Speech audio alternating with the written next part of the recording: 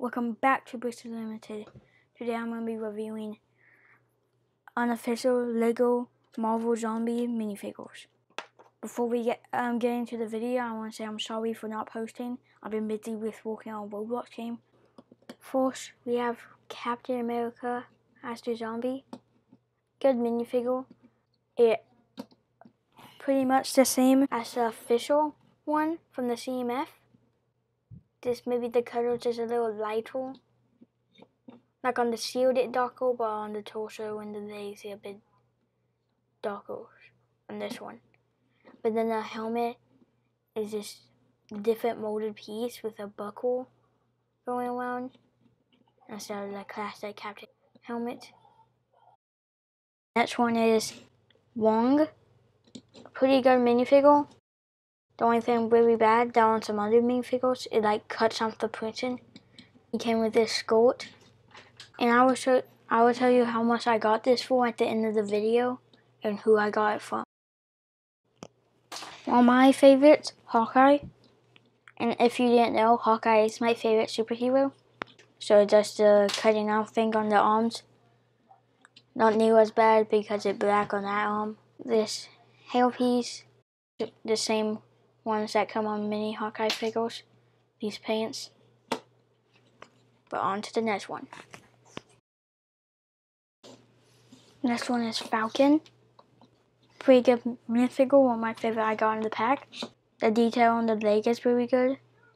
The wings are really good and plus the arms just have the gap being still on the back, which is pretty good. So this the wash helmet, but dirty. Look a bit weird, but good enough for being under the helmet. The wings are just these like see-through ones, not the best. Next we have Doctor Strange, my third favorite Marvel character. And overall, probably my favorite minifigure I got out of this pack. Because it's super detailed.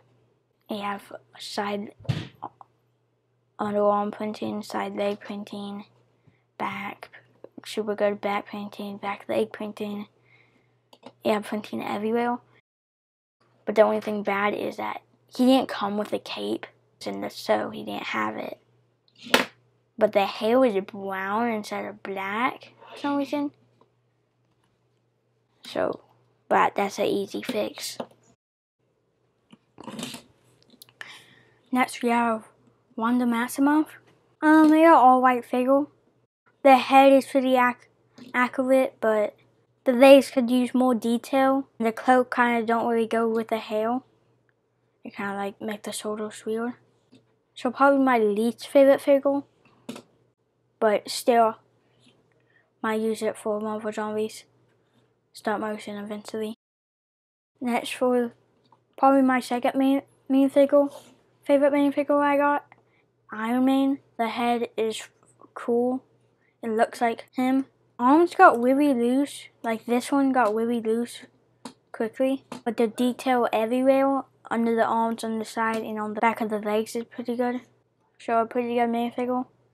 Now to tell you the price in the company. The company was we are online store. It takes like, it got shipped from like China, I think. So it takes like two weeks. But the main figures I've got is super good. None of them have broke or anything. So they're really good. Death, can buy more. I already bought like mini minifigures. Well, for eight minifigures, it was like 20 bucks in low.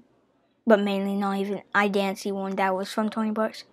The highest one I got was 16 for eight minifigures. But that pack was $10. You can't get the Marvel Zombies anymore. But it was a good order.